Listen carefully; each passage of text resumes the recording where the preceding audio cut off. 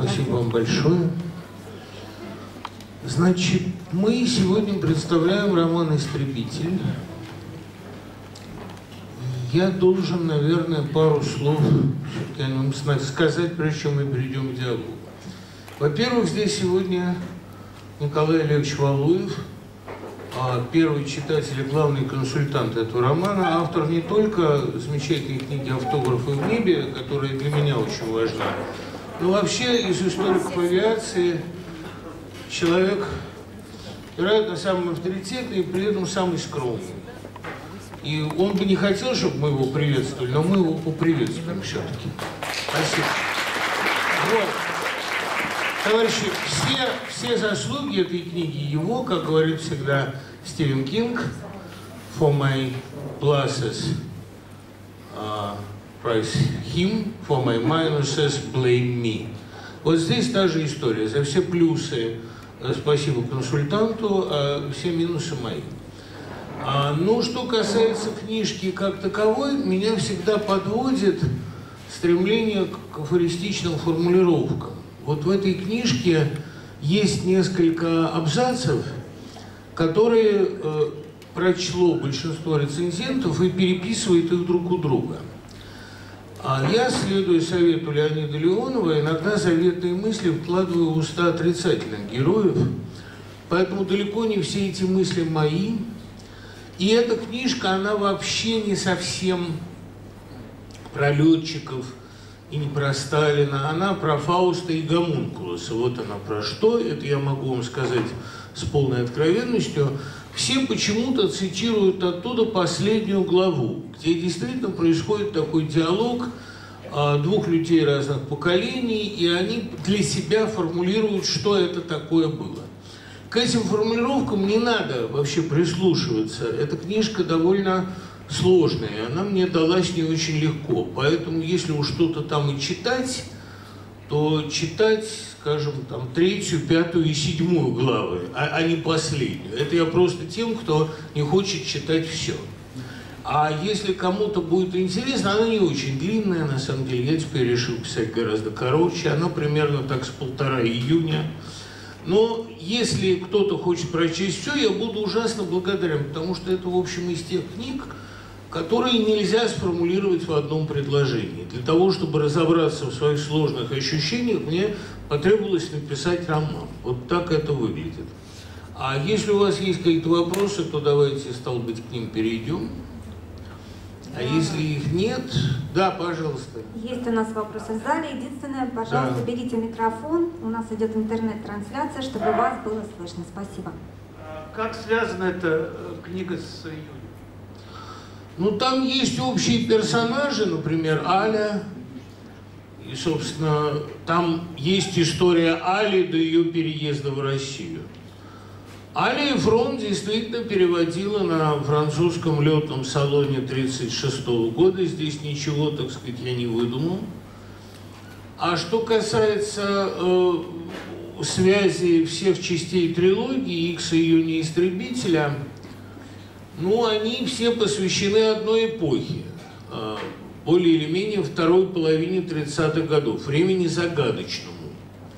И там есть некоторое сходство манер. Если о трилогия это все э, такие себе исторические романы, более-менее традиционные, с некоторым элементом пикарески, то э, это все три, триллеры, такие три триллера, довольно мрачных, э, с сильным вторжением фантастики, ну, это, в частности, польская линия, вся линия Крастышевского, линия Гриневицкого – Э, и все они посвящены так или иначе одной проблеме, проблеме гражданской войны, которая оказалась недоиграна, которая доигрывается в разных вариантах в Испании, в России, там, во время Большого террора. Это три романа о гражданской войне. Так я это, в общем, для себя определяю.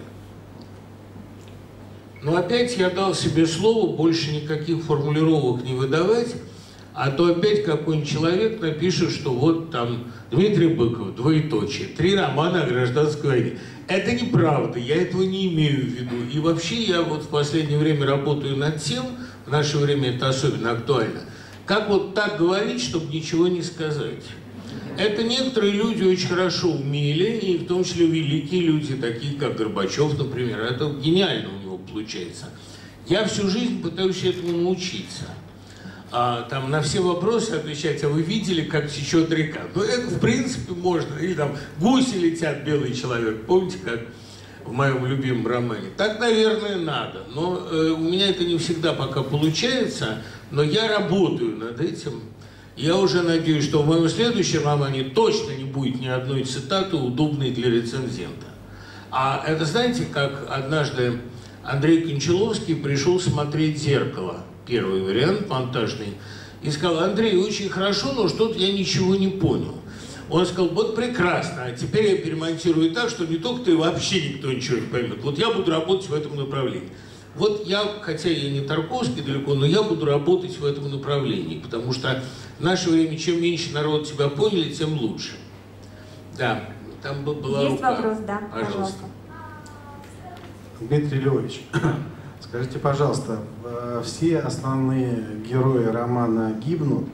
А Связано ли это с тем, что как бы они выполнили свою жизненную задачу, или с тем, что э, их профессия экстремальна, ну и, собственно, поэтому роман называется «Истребитель».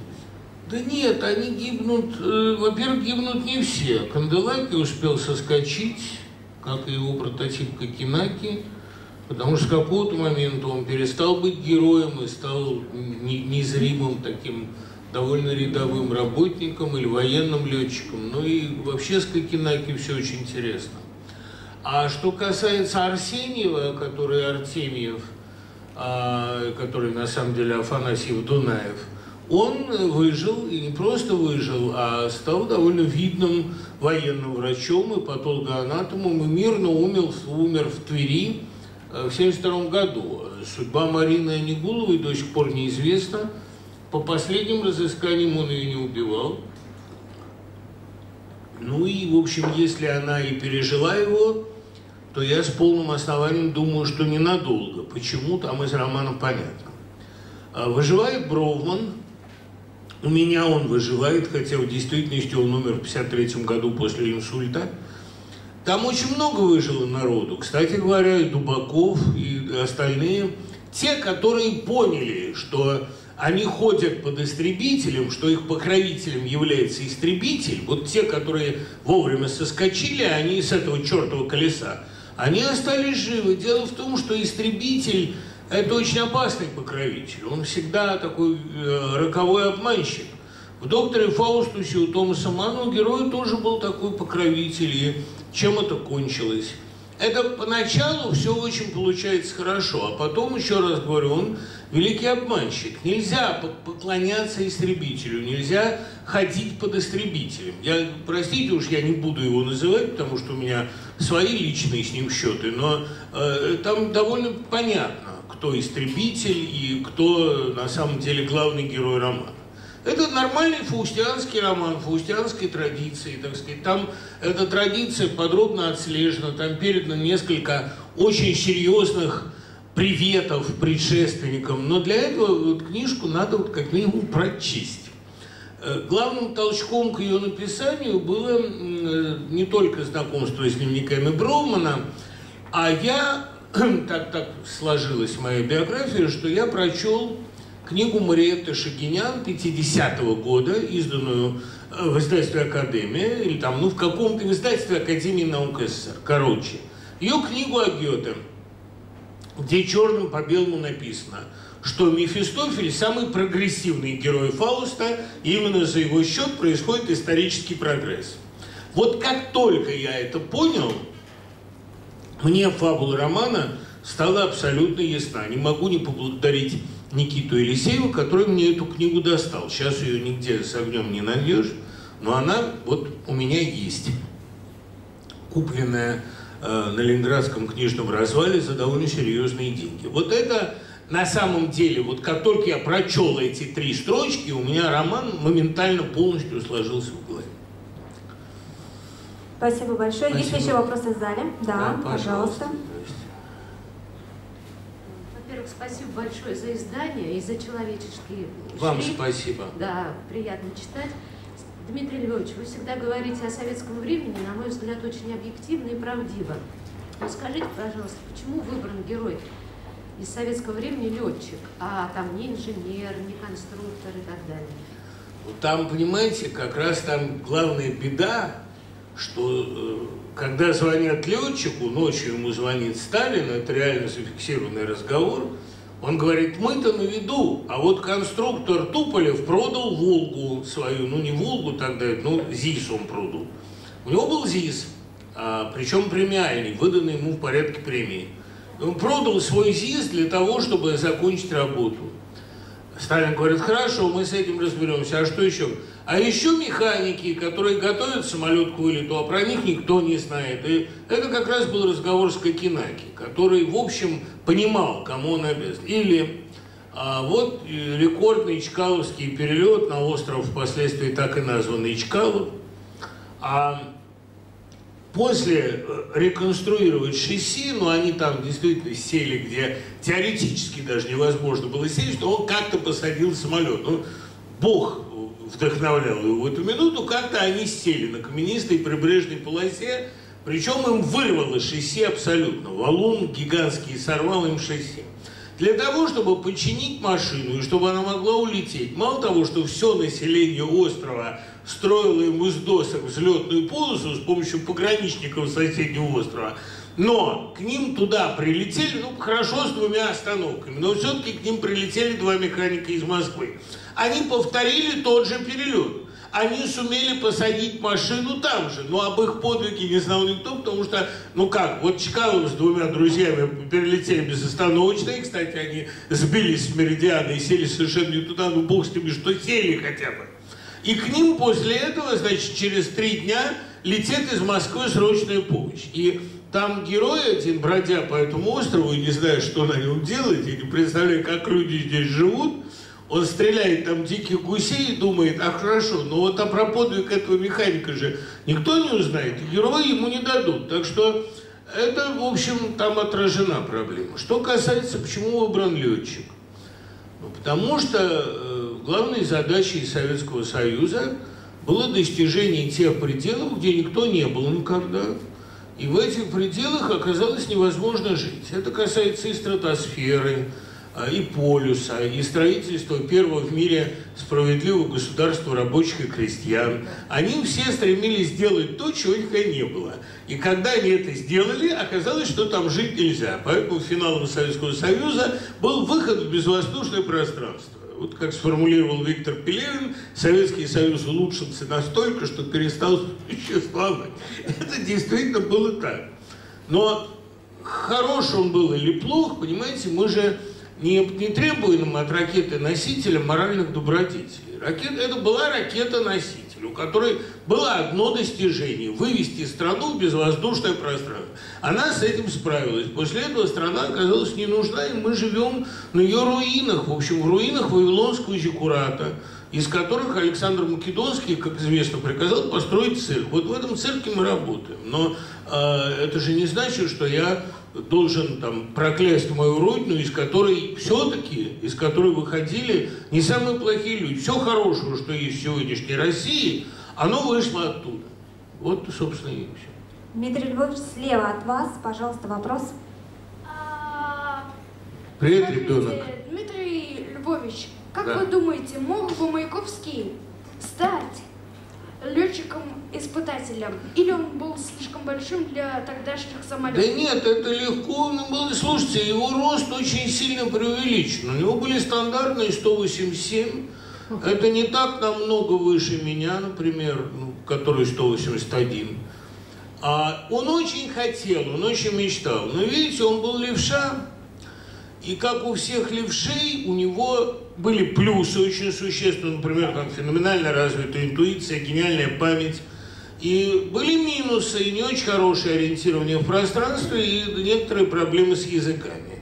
Поэтому, э, к тому же он, в общем, как художник, человек такой визуального мышления, он имел, конечно, сильное тяготение вот к этим небывалым краскам, небывалым пейзажам, и мечта его о полетах выразилась в гениальной поэме «Летающий пролетарий», где он описывает, и это сбудется, увидите, где он описывает будущий мир, где люди летают на работу, где люди а, там, на крышах вертолетной площадки. Ну, э, ничего не поделаешь. Там, бей буквами надо которыми, а все остальное делается моторами. А, то, что он полетел бы с каким-нибудь летчиком, это, безусловно, то, что он написал бы поэму об этом, это, безусловно, его единственный авиаопыт, перелет один там из Риги в Берлин, произвел на него совершенно оглушительное впечатление. Он был просто потрясен. Он говорил, что ничего не видно, но ощущение невероятно. А как подумаю, что тебя 3 сантиметра отделяют от пустоты, так вообще. Но проблема в том, что у него действительно не очень хорошо было с ориентацией в пространстве, поэтому он был бы гениальным пассажиром. Он с ними со всеми летал бы, он писал бы репортажи, но отпускать, подпускать его к управлению было бы, разумеется, нельзя. Он бы немедленно, как Граневицкий, улетел в шестое измерение. Но это вопрос, если бы он дожил. Мне кажется, что его бы арестовали раньше. А может быть, ему бы повезло, и тогда он, безусловно, стал бы главным певцом российской авиации, тем более, что рост никому не мешал. Да, допустим, Чкалов был 166, и ничего страшного, а Ливаневский был 180, и вполне себе помещался. Спасибо да. большое. Следующий вопрос. А, здравствуйте, Дмитрий Львович. У меня Привет. два вопроса. Хорошо. К сожалению, Елены Шубиной с вами на сцене нету. Как это нету? Ну, я, вот я вас вижу, но я вы не на сцене. представил, но это и скромность. А, поэтому, раз у нее микрофона нет, то я вам адресую первый вопрос. А, в вашей книге очень много редакторов. Литературный, художественный, младший, еще какой-то, еще какой-то. Это как получается? Вы работаете по методу Томаса Вулфа, привозите такой чемоданчик с рукописями и дальше их как-то там компонуют, или вот просто...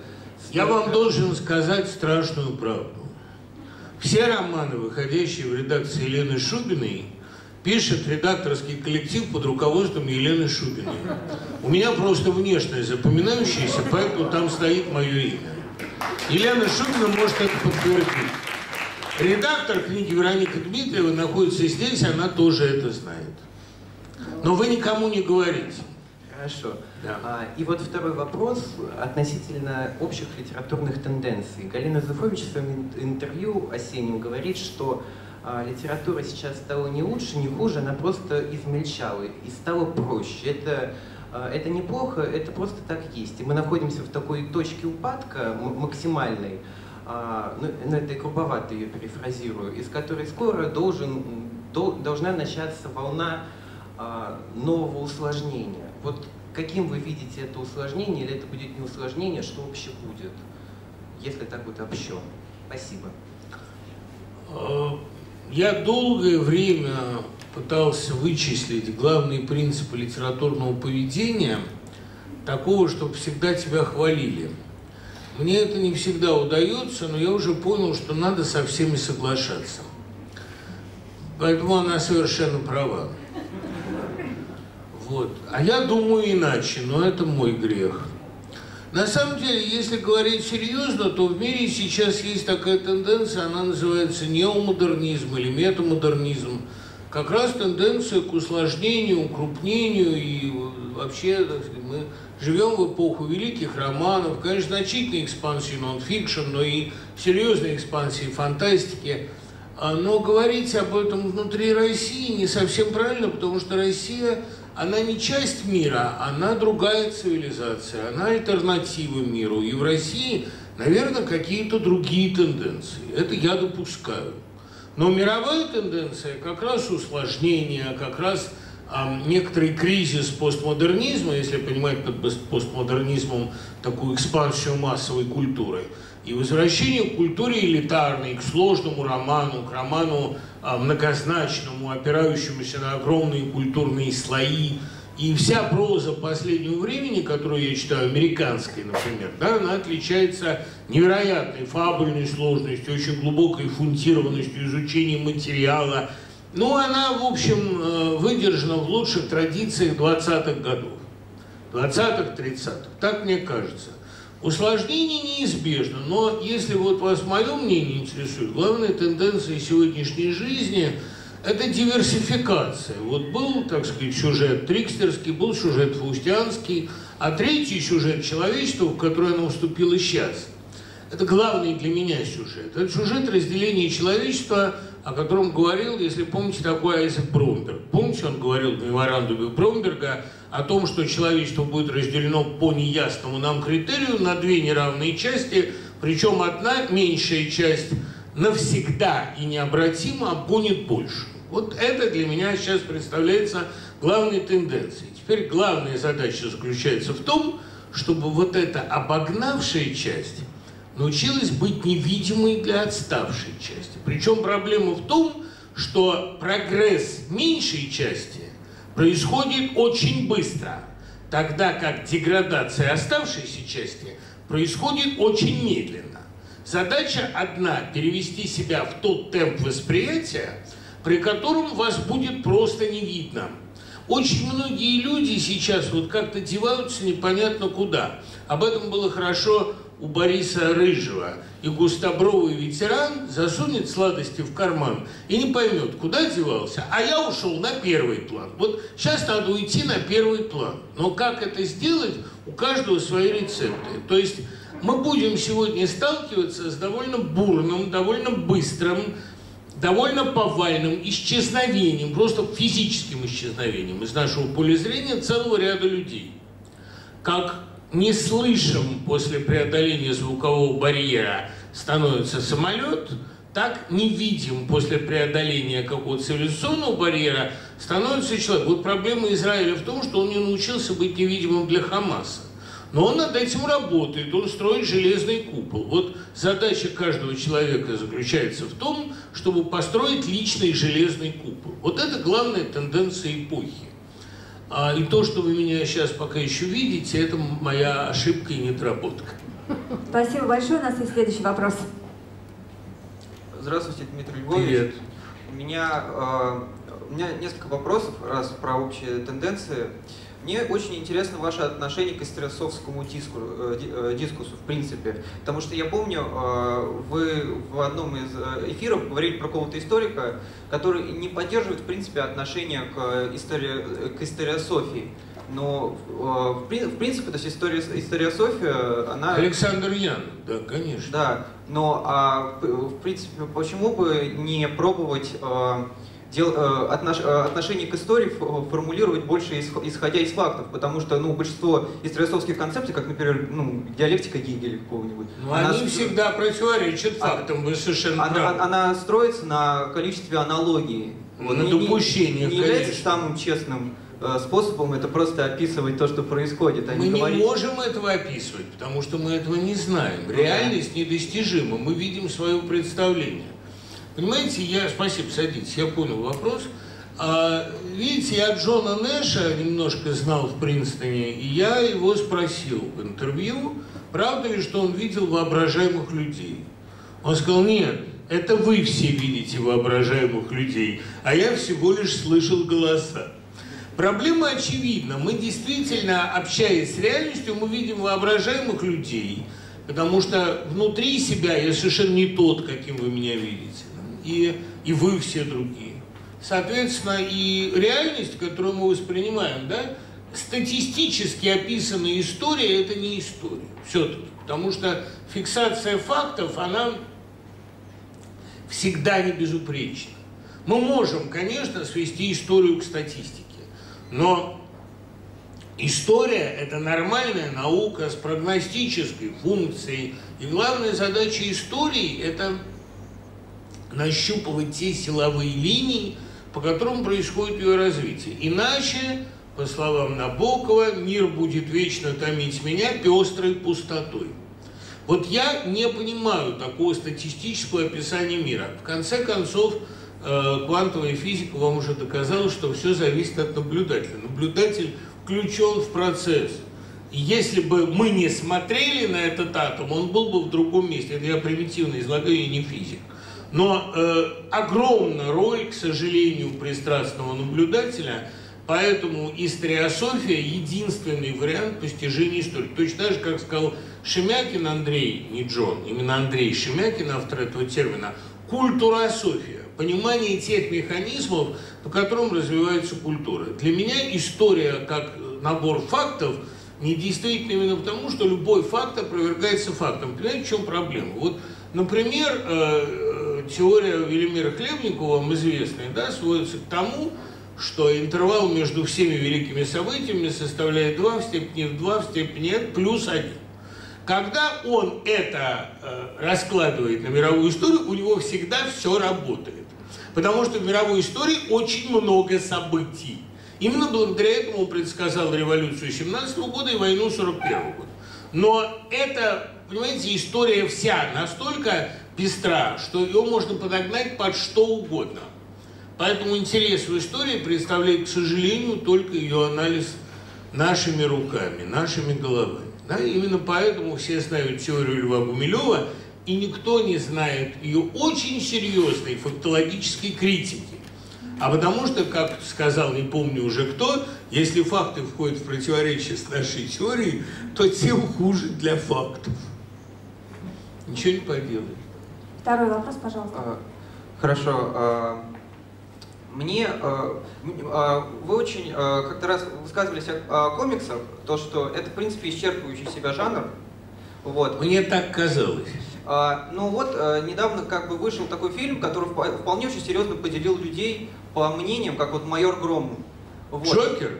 Майор Гром. А, Майор Гром? Он, э, ну да, он очень средней обсуждаемости, но он хотя бы обсуждаем. То есть это фильм, который не, не разорвали на мемы, а который, в принципе, стали обсуждать. Да, конечно. Вот, э, что очень важно. Да. И мне вот интересно, во-первых, ваше отношение к этому фильму, и вообще, вот возможно ли в России создать вот э, своего супергероя, который не был бы ментом, который работает не по уставу, и, и, и в принципе то есть, создать комик, потому что комиксы они очень христианские. Ну, мой свой герой, свой супергерой в России уже создан.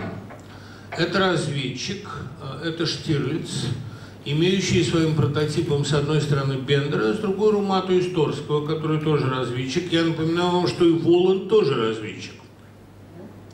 Он приехал не только извлекать мастера, но и смотреть, как там москвичи.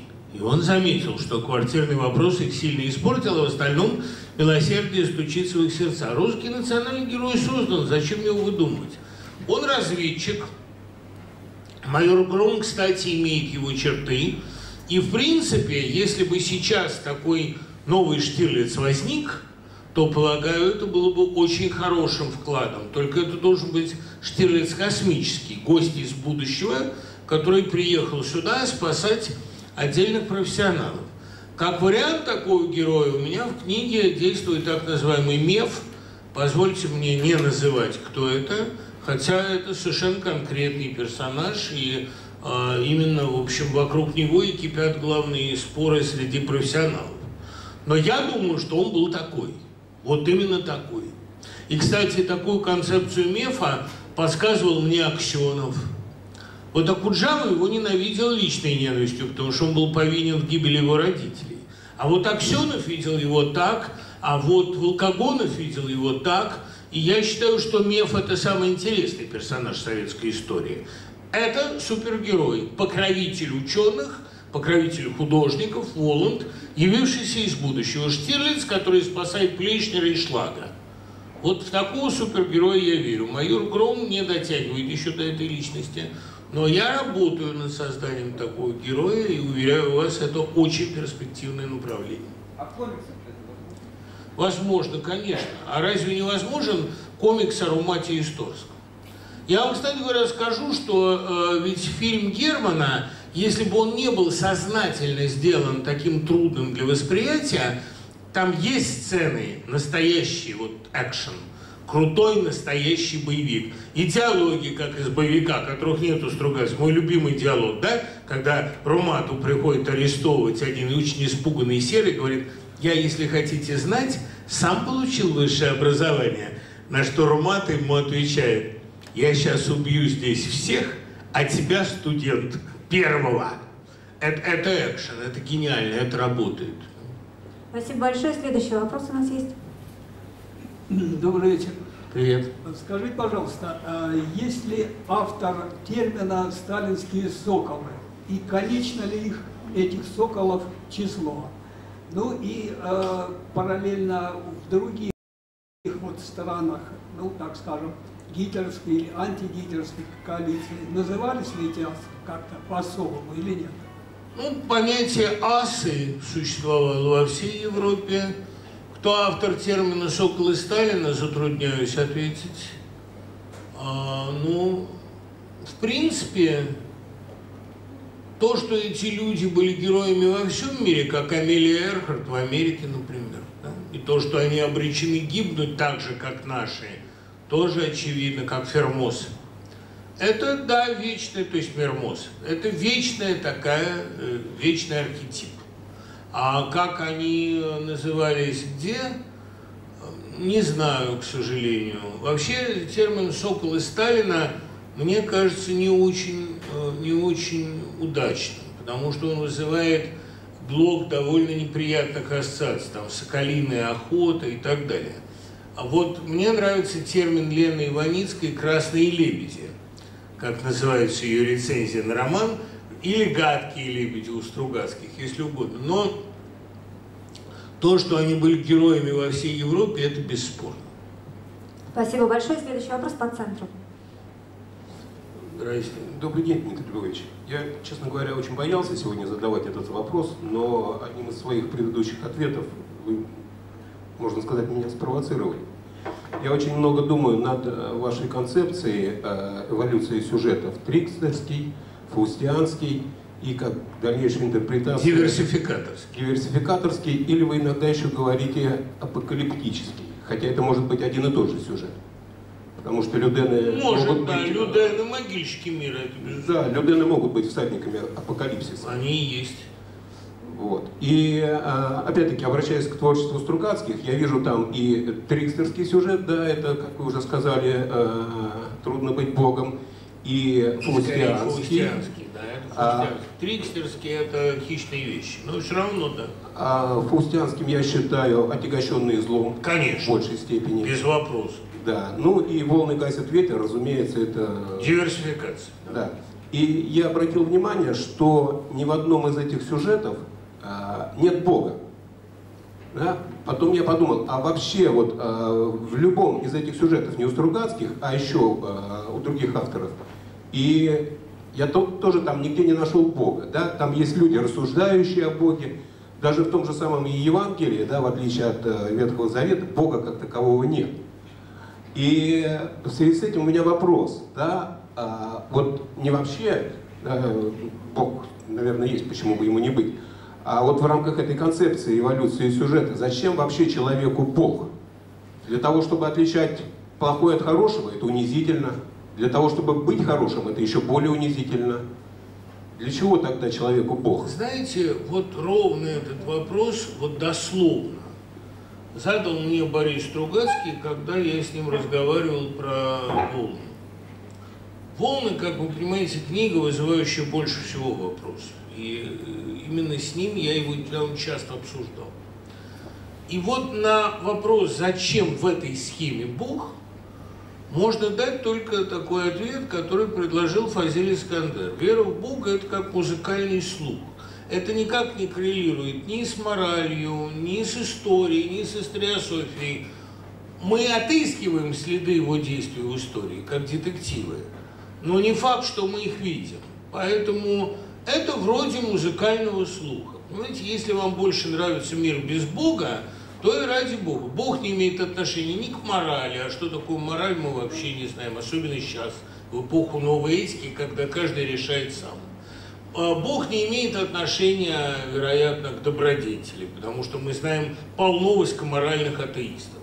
Бог не имеет отношения к концу истории, потому что история, скорее всего, не имеет конца. Бог – это, знаете, как вот иногда в известном ракурсе весной среди цветущей сирени особенно красивый закат. Вот в этот момент кому-то хочется сказать спасибо. Вот и вся природа религиозного чувства. А так-то вообще Бог совершенно никак не вписывается ни в один из сюжетов. И он вообще в мир не вписывается, он здесь не нужен. Но где-то он, мне хочется думать, что он есть, а кому-то хочется думать, что нет.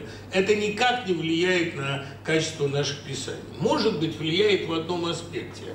Наше писание от этого становится чуть музыкальнее, да? чуть воздушнее. Я вам спасибо большое, я все понял. Это знаете, как э, Грин, э, вот самый мой любимый, наверное, писатель 20 века, молодой Юрий Домбровский, тоже один из моих фаворитов таких, и действительно гениальный писатель, тут из него огромный эпиграф. Домбровский в 27 году 17-летним выпускником а, подрабатывал в каком-то религиозном журнальчике, антирелигиозном, естественно, и опрашивал писателей там, и вот ему надо было получить ответ на анкету, почему я не верю в Бога. И Грин назначил ему встречу в каком-то из писательских кабаков в Москве во время своего короткого приезда из Феодосии за гонорарами. Пришел Домбровский, молодой такой, долговязый. И Грин говорит, молодой человек, проблема в том, что я бы с удовольствием, я вам помог бы, но проблема в том, что ответить на ваш вопрос я не могу. А то, говорит, вас гонорар смущает. Так мы нет, нет, не в гонораре дело. Ну что вам формулировка? Да нет, формулировка нормальная. Проблема в том, что в Бога я верю. Вот это такой правильный ответ. Э, или тоже замечательно, э, я все ссылаюсь на авторитеты, но это учительская привычка. Или вот э, Андрей Синявский пишет в мыслях расплох. Верить в Бога надо не потому, что это нравственно, или не потому, что это красиво, и не потому, что это красиво, а потому, что Бог есть. Но он есть, правда. Вот я ничего не могу привести в обоснование своих слов. Это даже, я вам больше скажу, это даже с загробной жизнью никак не связано. Есть или нет загробной жизни, это не доказано. И я не знаю, есть она или нет. У меня есть э, один самый авторитетный для меня священник, сказал, в свои лучшие минуты я надеюсь. А я так вообще не знаю. Но, но то, что он есть, ну, это доказывает очень много. Вот то, что мы с вами здесь сидим, это, безусловно, доказательство бытия Божия. Как, как говорил один хороший физик, никогда еще так не было, чтобы из хаоса сам собой возник порядок. Вот обратно, сколько угодно, это я, входя в детскую, вижу каждый день. А вот ну, у меня нет детской, но есть комната, где обитает ребенок. Вот это, назовем это так. Это я вижу каждый день. А вот чтобы а, все убралось само по местам, нет, тут нужно организующее вмешательство, как хотите. Вообще, у кого есть дети, те меня поймут. Правда же, да? Правда. Ребенок – это важное доказательство бытия Божия. Спасибо большое. Следующий вопрос. Да, пожалуйста. А, добрый вечер. А, Привет. Я хочу задать такой вопрос. Вот уже далеко не первая книга ваша выходит в редакции Елены Шубиной, и вместе с вами э, там публикуется ну, добрая половина сегодня ведущих э, российских авторов. Э, хотел узнать, как вообще вы давно знакомы с Еленой Шубиной и как вы можете сформулировать, что вот в ней есть такого, почему вот она уже такой вот бренд – Э, что в ней есть такого, чего нет в других издателях? Знаете, нет ничего более приятного, чем хвалить красивую женщину в ее присутствии.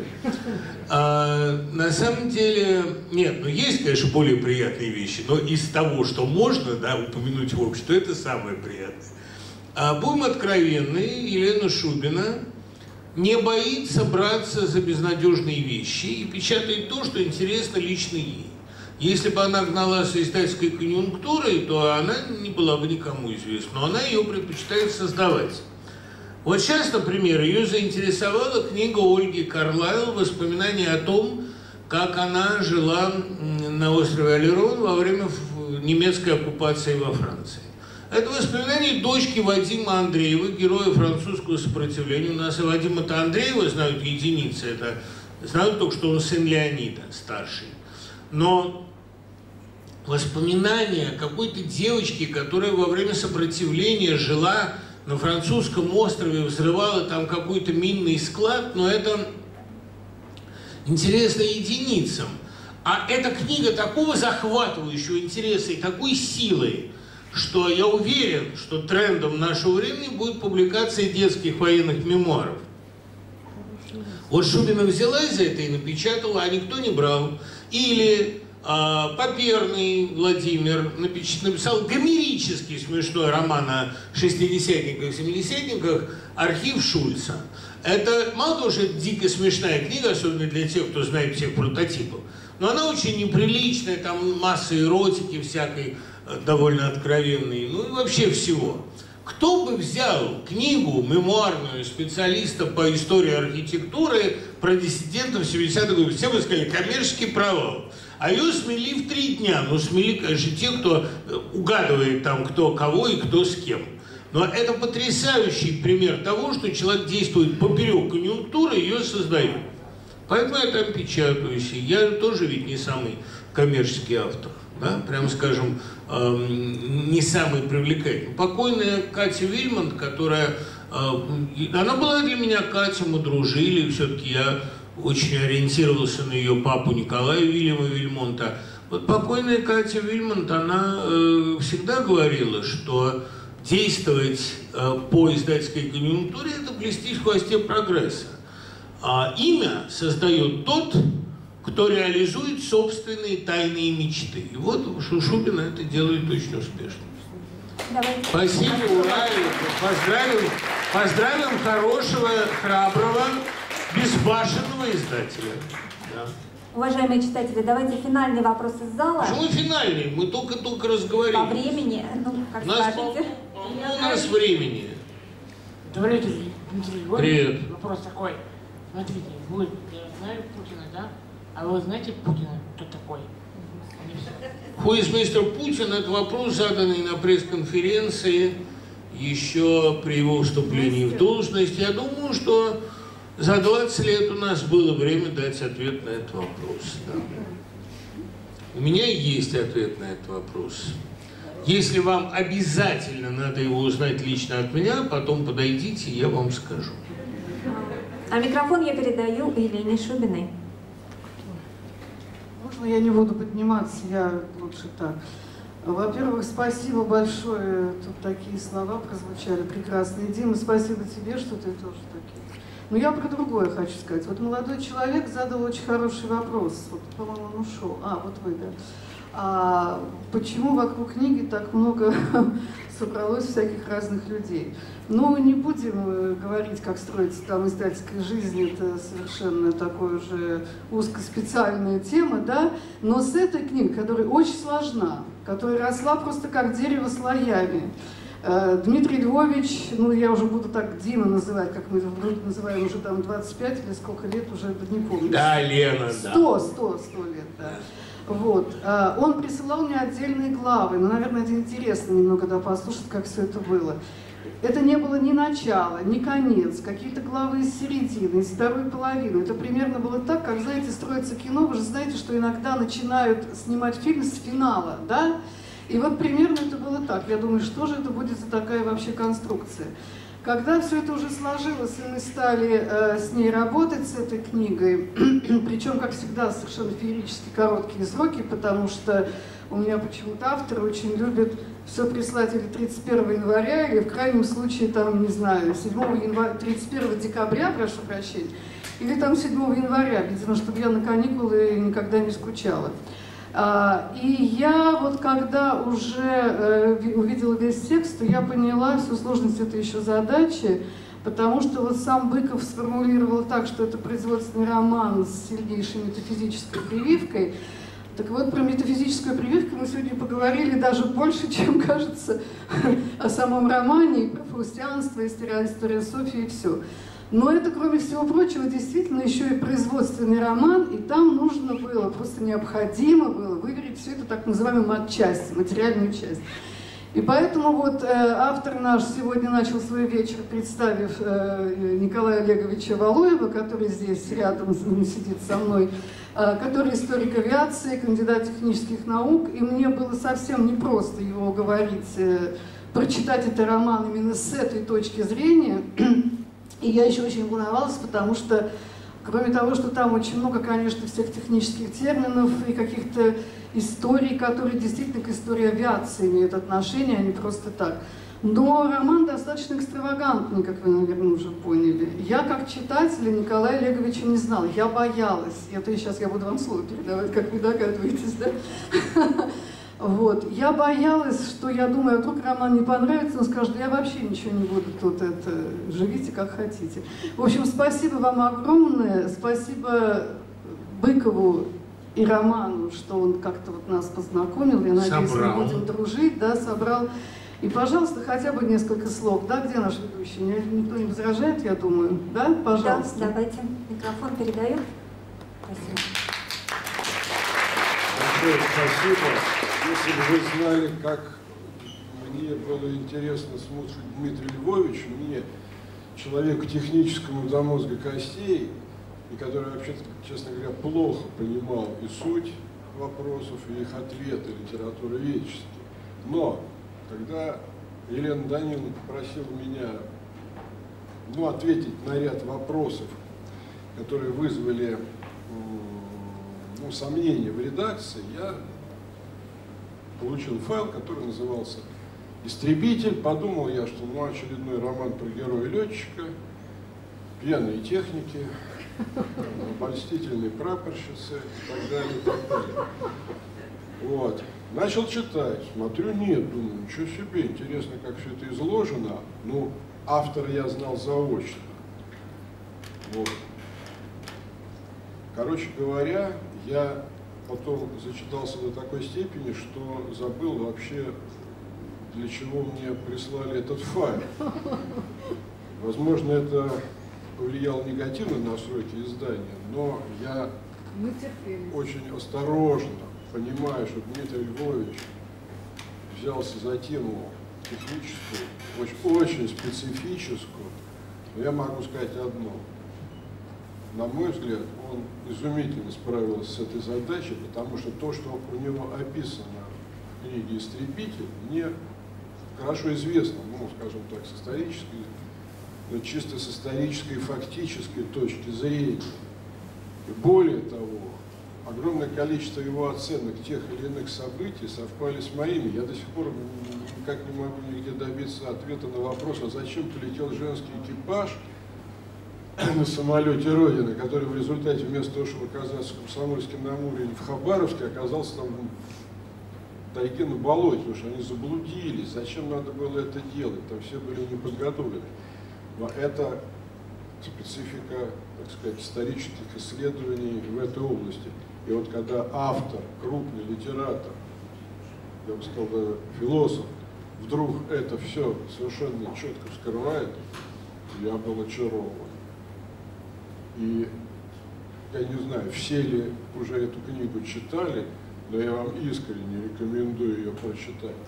Возможно, я не уловил своим, так сказать, скудным умом того, что это роман такой, как как вы, Дмитрий Мефистофель? Мефистофельский, да, все правильно. Да. Вот. Но мне понравилось то, что там описано, описан период, который в нашей истории, с одной стороны, был очень трагическим, а с другой стороны, очень героическим. Вот тот, короче говоря, вот каждый увидел свою грань. Я чувствовал там присутствие и Лаврентия Павловича, и всех остальных, остальных, остальных, но в то же время горение тех авиаторов, которые шли на эти подвиги. Сегодня бы э, никто на одномоторном самолете со скоростью 200 километров в час не полетел бы в Америку через Северный полюс, даже если бы его озолотили ни сегодня никто бы, сегодня никто бы не стал дрейфовать три года на ржавом таком старом пароходе, непонятно во имя чего, когда можно было его бросить просто во льдах и снять экипажи.